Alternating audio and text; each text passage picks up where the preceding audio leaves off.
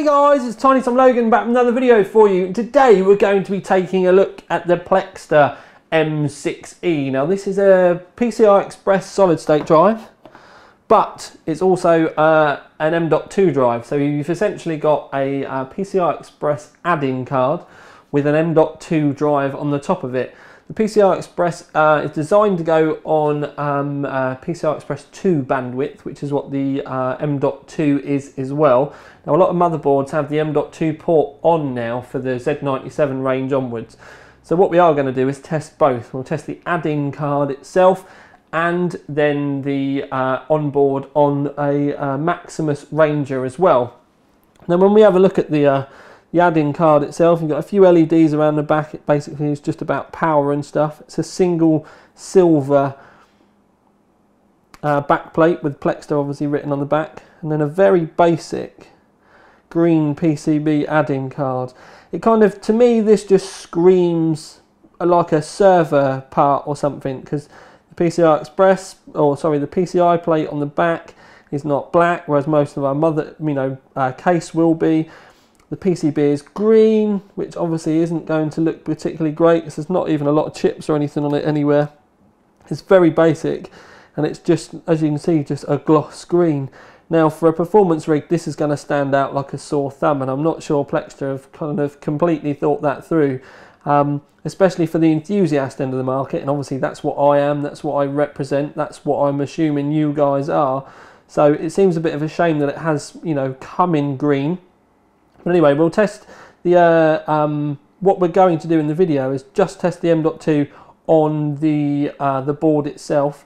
But for the, the review as a whole and what you'll see in the graph is we've done PCI Express ones and M.2 ones. Now the kit itself, this as a whole, comes in around the kind of 190, 200 pound mark for a 256 but just the drive itself can be found for around the 160 pound mark and just the drive itself again for a 128 you can find in the UK for about 90 pounds. Um, so yeah, let's move on and take a look at this in the rig. Here we are then peeps, we've got it fitted to the Ranger and this is our test system. Essentially it's a Maximus 7 uh, Ranger Z97 board. We've got a 4790K in there at stock but in this board it just runs it at a native 4.4 gigahertz and then we've got 2400 megahertz of Corsair uh, Vengeance Pro running at rated. And if we zoom in, you can see the uh, M.2 mounted to the uh, motherboard there. Obviously you can see the little void kind of sticker, it's catching the light quite well from this angle in fact. But that's it all fitted all nice and basic and uh, just so that you know people keep have commented recently about why I run the benchmarks in the video. Well I do keep um, screenshots anyway but if I you've seen a bench be run on the screen then you can't question the results. Um, it's just a way of me being able to um, hit the trolls off at the pass so to speak. But obviously I'll still show you the, uh, the, the graphs and everything as well Okay then peeps, so what we're going to do, we're going to start off with Anvil and all I need to do is select the M.2 drive from the top and we're going to hit run. Just to make it clear, we are running this in the board itself, although I will show you graphs that show you the board and the PCI Express um, directly. But I'm going to hit this now and head off. Okay, jokey then peeps. So, I'm just going to show you the uh, graph quickly but we've obviously already seen the screenshot with it on the, um, the desktop and everything as well. But on the run that we did in the video, we got 729.34 megabytes a second on the sequential read, and then 547 um, megabytes a second on the sequential write. And the overall Anvil score was 4,288. Obviously, you got the um, uh, the um, results that we use in the review as well because you know things can change drivers all not necessarily drivers sorry but like um, you, your trim and all that kind of stuff. But so we've got a live result and then we've also got the graph result. But 729 meg uh, read and a 550 basically right? How could you not be happy with that considering the size of this thing? Anyway back to the uh, desktop. What we're going to do is uh, literally just open, select the drive. We've got T already selected. There we go, T. And we're going to start doing CrystalDiskMark now. Okay, so now we have our CDM or our CrystalDiskMark result. 737.7 megabytes a second read and then 581.4 on the right. They're obviously the sequential read and writes, which are the, generally the, the bigger result. But uh, I'm not joking, over 700 meg and almost 600, over 700 read, which is obviously the important one for general system stuff, and then almost 600 meg write. It's just fucking batshit crazy. I mean, that is a just an unreal performance for a system drive. And let's face it, that's not in RAID, not going to have any problems with drivers or anything like that. It's just going to be out of the box silly fast. Okay then peeps, so moving on to a conclusion. Now, uh, the, the award is kind of like twofold really because it's, uh, the, the, it's a bit of a confused one. We've obviously got the M6E with the PCI Express adapter. Um, but you can buy the actual drive itself individually. Now the 256 is going to cost you about 165 pounds and the uh, 128 is going to cost you around and about the kind of 90 pound mark. So for those kind of prices, they are um, they are you know slightly more expensive than some of the other ones. But what you need to remember is the speed difference. You can get budget drives that are much cheaper, but you're obviously going to get nowhere near the performance that you will with these. So you, you obviously, as with everything, whether it's a solid state drive or an M.2, you're going to be paying for the, the, the faster memory. Now, with once you add this, you end up this ends up costing you about 40 or 45 pound extra to get this.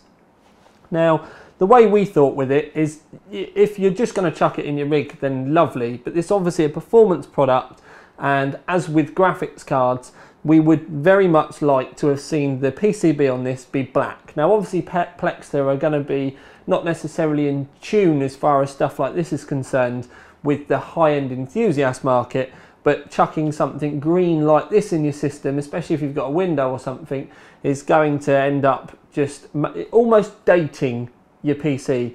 Um, so considering how much this cost and how basic this is, because it pretty is just a lump of silicon with an M.2 port on it. Um, I don't think it would have been too much to have asked to have had that have been black. So in that respect, this side of it, I don't particularly like at all.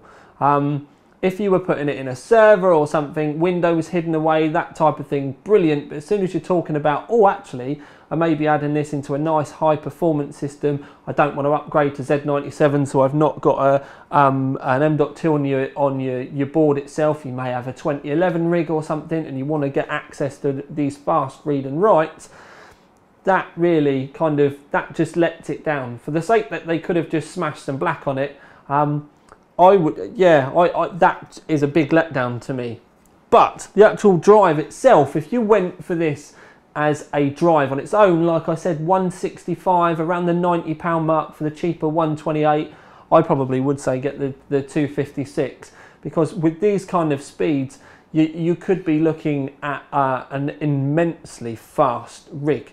Um, again though, the PCB that it's on, although you can't see a lot of it, is green and it would be great if they could have brought out a black one because the aesthetics do matter to us nowadays. So what we've gone with is a uh, OC 3D Performance Award because the, um, the, the, the, the, the performance is there. It's a great performing product. It's going to outperform any of the normal 2.5 inch um, SSDs that you can get. But with the green, as far as that is concerned, it, it, it's just a little bit dated. Um, I know that with these that they've been used to like just chucking them in laptops and stuff like that, but a black PCB for an, an enthusiast product is paramount really. If it had a black PCB, it would have got a gold award, let's put it that way. If this had been black, it would have got a gold award as well. So it's technically what I've done is kind of the, I've marked it down to a performance because it does still perform really well, but it doesn't deserve that gold because it's kind of the aesthetics just aren't there. It's not quite pleasing enough. The price is pretty good. The performance is fucking brilliant, but the green, it, it's just not tickling my fancy. Um, it would be one of those ones where I'd kind of, I'd want to kind of hide it away or maybe even make like a, uh, um, a, a, plexi cover to just go over that so you, you couldn't see it. And that's a shame because you'd want to show off this so that people know you've got that blatant performance there. Um, so I hope Plextor um, come back with a black one because I actually know other manu- oh, get it in your hand. I know other manufacturers will have them along very shortly, and it would be sad that Plex lose out on um, possible customers and everything just because the other manufacturers happen to bring out those black ones. But anyway, for now at least, this is Tiny Tom Logan with the review on the Plextor M6E M.2 solid state drive out.